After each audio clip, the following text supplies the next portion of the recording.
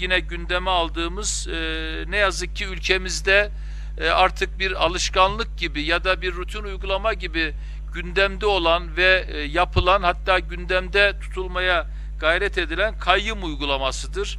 Kayyum uygulamasının tümden e, bu ülkenin gündeminden kalkması şarttır. E, kayyum uygulaması ile ilgili gördüğümüz hukuki sakıncaları elbette sizlerle e, paylaşmak istiyorum. Öncelikle e, anayasada İçişleri Bakanı'na görevle ilgili suçlar için uzaklaştırma yetkisi verilmişken terör irtibatı maddesinde görev bağlantısı e, asla e, kurulmadığı bir e, hukuki zafiyettir. E, terör suçunun görevle bağlantılı işlenmesi halinde ise dayanak madde e, karışıklığı e, bulunmaktadır. Hizmetlerin terör sebebiyle aksadığının tespitinin valiliğin yapması yargı teminatını bertaraf etmektedir. Meclisin seçim yapması kuralından uzaklaşılmış olması e, gerçekten e, halkımızı, o şehirlerde yaşayan vatandaşlarımızı derinden yaralamaktadır. Aynı zamanda personelinin görevden uzaklaştırılması iadesi kararı e, seçilmiş başkandan alınmıştır e, ve vesayet makamları hiyerarşik amir konumuna e, girmiştir. Bu kapsamda e, vatandaşın iradesinin tümden yok sayılması zeminini oluşturduğu gibi aynı zamanda kurumu da neredeyse ortadan yok eden bir e, aşamalı süreci devreye sokmaktadır. E, yine görevlendirme süresi belirsizleşen, belediyenin karar yürütme, temsil gibi farklı organlara sahip olmasından beklenen yarar da sağlanamamaktadır. E, suçun şahsiliği prensibinden e, en üst seviyede uzaklaşılmıştır.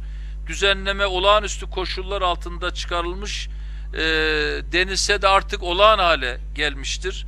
Neredeyse e, bu e, böyle yerleşik bir uygulamaya dönüşmüştür ki bu uygulamamıza asla uygun, yerleşik uygulamamıza asla uygun değildir.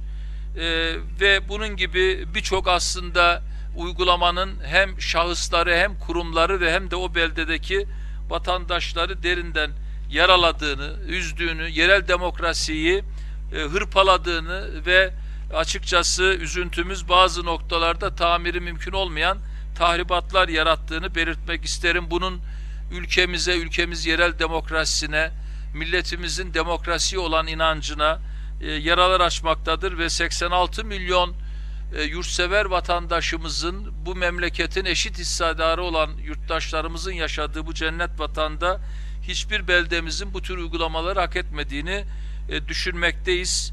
Yine meclisin fesi ve belediye başkanının sona ermesine, görevlerle ilgili suç işlenmesi halinde görevden almaya ve takip edilecek usule ilişkin kurallar anayasamızda ve temel mevzuat 5393 sayılı belediye kanununda yer aldığından ayrıca kayyım düzenlemesine ihtiyaç bulunmadığını e, arkadaşlarımız e, öneriyor. Bütün bunlar hem yasanın nasıl uygulandığı mevzuatına dair hem de e, aynı şekilde bu kanunların birbiriyle olan çelişkisini tespit etme noktasında Türkiye Belediyeler Birliği bünyesindeki e, hukuk birimimizin ve uzman arkadaşlarımızın çalışmaları ışığında sizinle paylaşıyorum suçla mücadelenin ceza sorumluluğunun bireyselliği üzerinden sürdürülmesi gerektiği, tüm karuma, hat, kuruma hatta personele, kamu görevlilerine kayım atanmasının devlet geleneğimize, hizmetlerin devamlı ilkesine büyük aykırılıklar içerdiği, olağanüstü koşullarda getirilmiş